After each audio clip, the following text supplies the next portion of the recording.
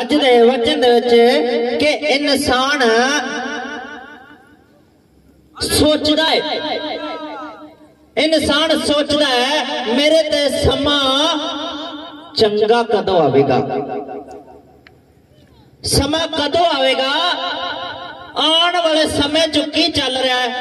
ਹੋਏਗਾ ਕੀ ਅੱਜ ਦੇ ਸਮੇਂ 'ਚ ਚੱਲ ਰਿਹਾ ਹੈ ਇਨਸਾਨ ਨੂੰ ਕਿੱਦਾਂ ਪਤਾ ਚੱਲੇਗਾ ਕਿ ਮੇਰੇ ਤੇ ਅੱਜ ਦਾ ਸਮੇਂ ਦੇ ਵਿੱਚ ਮੈਂ ਕਿੱਥੇ ਖੜਿਆ ਅੱਜ ਦੇ ਸਮੇਂ ਦੇ ਵਿੱਚ ਆਉਣ ਵਾਲੇ ਸਮੇਂ ਦੇ ਵਿੱਚ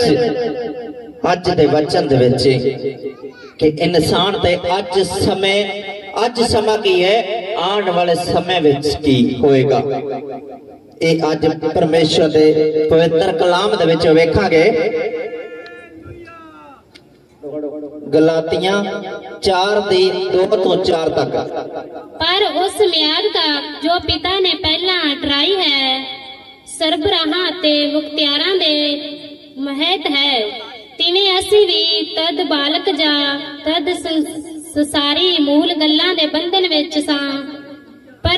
ਸਮਾਂ ਪੂਰਾ ਹੋਇਆ ਤਾਂ ਪਰਮੇਸ਼ਰ ਨੇ ਆਪਣੇ ਪੁੱਤਰ ਨੂੰ ਕੱਲਿਆ ਜਿਹੜਾ ਤੀਵੀ ਤੋਂ ਜੰਮਿਆ ਤੇ ਸ਼ਰਾ ਦੇ ਮਹਿਤ ਜੰਮਿਆ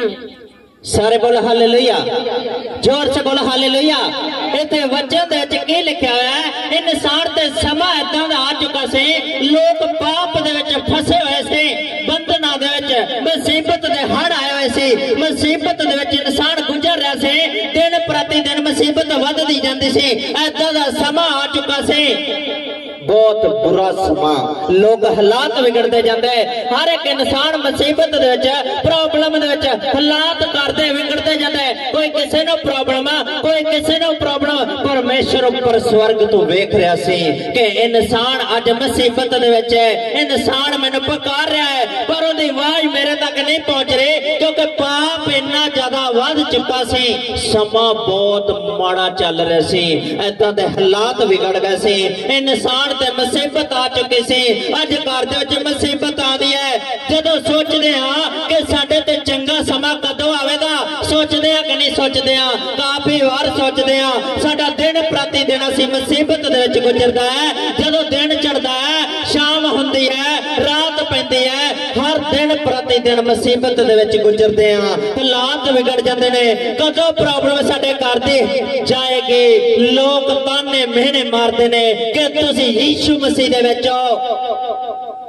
ऐदा परमेश्वर मनन वाले लोग परमेश्वर तो दूर चले गए, मुसीबत आ गई। परमेश्वर ने योजना बनाई के क्यों ना मैं अपने इकलौते पुत्र यीशु मसीह ने धरती पे भेजा, जो एक औरत के द्वारा पैदा होएगा। क्योंकि परमेश्वर ने किदा धरती ते यीशु मसीह ने भेजा? एक औरत के द्वारा। क्योंकि लिखा है कि शरा दे मैं तो जमया टीवी तो टीवी तो पैदा होया क्योंकि उन्हें एक नेम से, एक शरा से, एक कानून से, कानून नु पैदा करना से। परमेश्वर ने कानून के दायरे दे रह के काम किया यीशु मसीह नु धरती ते भेजा